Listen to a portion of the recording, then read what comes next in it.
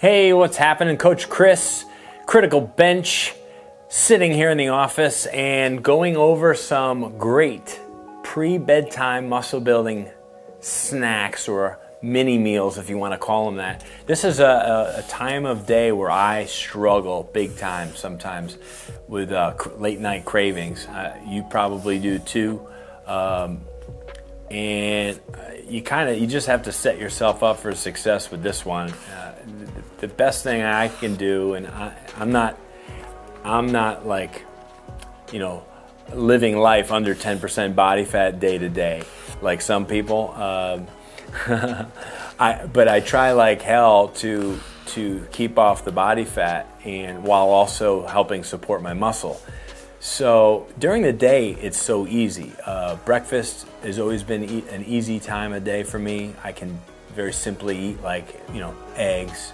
Um, I can have. Uh, I love to blend up my own fresh smoothies in the morning. Spinach, uh, so a few frozen fruits, uh, load it up with some good protein powder. throw flaxseed in there, uh, coconut oil, uh, oil in there, whatever I want and those taste great and sustain me just fine. L- lunches I can typically just hammer out, you know, some leftover uh, chicken or, or fish or steak or something like that, or some cold cuts, boar's head, of course. Uh, yeah, salad, of course, fruit, uh, fruits, veggies, um, and even dinner I can be good. But it's like you get that late night craving sometimes and I have a couple young kids, and man, it is easy to reach for the wrong thing uh, at night. And I'm not saying carbs are bad at night, it just depends on what type of carbs. A lot of people swear by some late night carbs uh, because carbs will help, and not only will satiate you and satisfy your hunger, they will help you just dial it back, relax a little bit, and typically help you fall asleep. Kind of like that a little bit to a lesser degree the, the feeling that we get um, you know after thanksgiving after like a, a, high carb really just a high calorie meal and we all feel real lethargic and want to take a nap after a big meal to a lesser extent do you, you want to try and go for that same thing at night as long as it's clean right? So i got some foods here that we can that you can uh, incorporate into your diet here that's pre bedtime that's going to be good for you, help with your fat loss, help with your muscle building. Uh, one would be like cottage cheese. Uh, and, you know, for anybody that's like the debate over the type of protein and stuff, you know, while whey protein obviously is kind of the, the king, uh, casein protein, which is, you know, really derived from, uh, you know, uh, milk protein. It comes from like the from uh, from like curd or you know I even have a note here um, that the that the uh, it's is the predominant form of protein in milk. Uh, it's the curd portion of milk, right? And the like leftover stuff from like the uh, cheese making process, and that is kind of like more like what you're finding in your in your cottage cheese, your your regular cheese, your hard cheeses. Um, I love a, a, really good quality hard cheese. Um, so something like that uh, right before you go to bed. So cottage cheese with some natural peanut butter.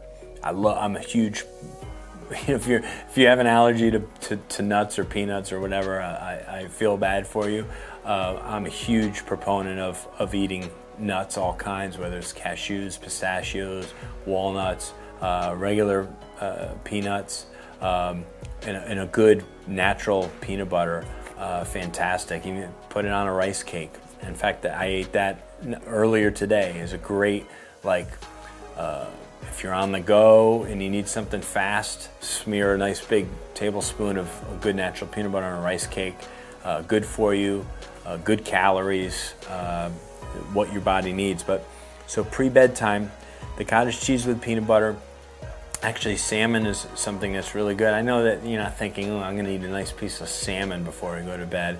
Uh, but maybe even if you have a bigger dinner, you know, and want a little extra helping of salmon, it's just phenomenal for many reasons. Uh, you, you, you, your omega fats and stuff, but it's great for, for muscle building. Uh, great, just protein source. Um, Greek yogurt, a really good quality Greek yogurt. Uh, so not your your your typical yogurt that can be loaded with sugar. Go for something that's a little bit more plain, that's lower in sugar, and and you can add some uh, some stuff to it. If you want to sprinkle some flax seeds in there, want to maybe throw some strawberries, some blueberries. Uh, berries are just really good because they're low glycemic. So throw some some berries to help sweeten up your yogurt a little bit. That's a great little pre bedtime uh, muscle building treat. Uh, low fat cheese with some raw veggies, right? So get some get some some cheese that's more low fat like Swiss and have that with some veggies. I mean, quite often I will slice up like some peppers, green, red, yellow, orange peppers, um, which is an awesome, awesome for many reasons, loaded with vitamin C. I think a pepper has way more vitamin C than like your your your other items out there like your oranges and strawberries. Peppers are super super awesome for you. Um, or any other vegetables that you know you really like. Um, you know, snow peas or, or uh, you know, even a little bit of some carrots is okay. People get crazy about carrots because they got sugar in them. You know, I'm not too worried about sugars if they're coming from like good sources, uh, natural sugars uh, from some fruits and vegetables. So, and keep those veggies raw. The more often you can eat raw veggies, the better off you are. When we start cooking them and I mean, maybe a little bit of a, a, steaming process is okay. If we cook them a lot, you're cooking away the nutrients. Um, canned tuna with olive oil. So you can't, I mean, tuna got me through college. So tuna is a great uh, source of, of protein uh, for muscle building before we go to bed. Because when we go to bed, our body does a lot of stuff anabolically, right? And, and our hormones and how our body functions when we're sleeping. Um, if we function much much better when it comes to muscle building uh, at rest and when our bodies are fed with some good quality nutrients uh, just everything just works better and to our benefit so that when we wake up uh, we, we're, we're just in a better place um, you know s- sleep obviously is, is huge but there are things that you should be eating like what i'm listing right now before you go to bed to really get more out of your workouts. All that hard time that you're putting into the gym uh, is all for naught if you're not filling your body up with good quality stuff. And especially right before our bodies get the chance to finally like be at a, at a rested state and and be uh, and going through the, the, the, all the growth and, and, and the release of all these hormones. Um, you know, our testosterone's highest right like right when we wake up in the morning. So do yourself a, a favor and, and, and, eat some of these foods close to bedtime. Uh, and uh, lastly, well, not lastly, almost lastly, uh, a casein protein shake with some coconut oil. So instead of a whey protein shake, get some, get yourself some casein uh, protein and make a shake with that. Uh, that's actually a great time to take a, a shake. It can satisfy you enough where you don't feel like you need to, you know, reach into something to, to eat and you put a little bit of uh, coconut oil in there which also helps. I mean coconut oil has you know obviously been shown to have a lot of positive uh, effects on us whether it's used uh, consumed or uh, on our skin. And then last but not least i even have i think this is like seven things. How about a really good jerky? So i have a pork jerky here. Um, I'll have a piece of it right now just because I'm a little bit hungry.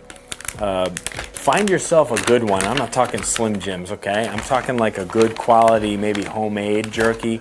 Uh, sometimes you get lucky at certain places sell like homemade jerky. Uh, look for it. Make it yourself.